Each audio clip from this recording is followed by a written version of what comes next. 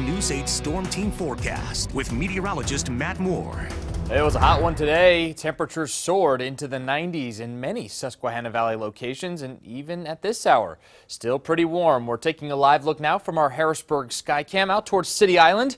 Seeing the uh, Senators ballpark there. Still got the lights on. The game is now over. And for all those patrons at the game heading home at this point, with uh, mm, some clouds in the sky, also a little bit of haze in the uh, along the horizon as well. 82 degrees. The uh, official observation picking up that haze with mostly cloudy skies, but uh, above the haze, it's pretty clear at this point.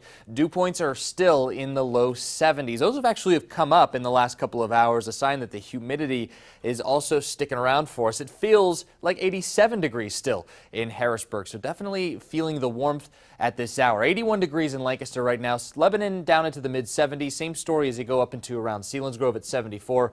83 degrees in and around the Chambersburg area. Now, right now, the Susquehanna Valley is seeing quiet weather. However, there is a line of some showers and thunderstorms that has formed over Pittsburgh. That's starting to head our way, but most of the information we have suggests that that line is going to fall apart as it tries to move across the mountains. It's moving away from its forcing and all of the ingredients needed to sustain it. So we're not necessarily worried about that. However, I'm keeping a stray shower in the forecast through the overnight hours. Dew points, though, region wide, very high into the 60s and 70s, and that's bringing these heat index or feels like temperatures well into the 80s. In fact, look at that number. Still feels like 90 degrees in Washington, D.C. at this hour. So we will not lose the humidity, and uh, it'll stay on the warmer side of things relative to average here as we go through the overnight hours tonight under partly cloudy skies. So the News 8 Storm Team forecast keeping that isolated shower in uh, as lows drop down into the low to mid 70s. Then we'll head into tomorrow morning.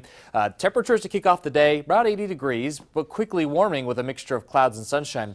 Can't rule out again that stray shower chance during the morning, but uh, a slightly higher chance for a shower or thunderstorm arrives during the afternoon with the daytime heating. We also have a little frontal boundary up to the north of us that may try to spark a shower or storm, but uh, it looks like another day with hot and humid weather.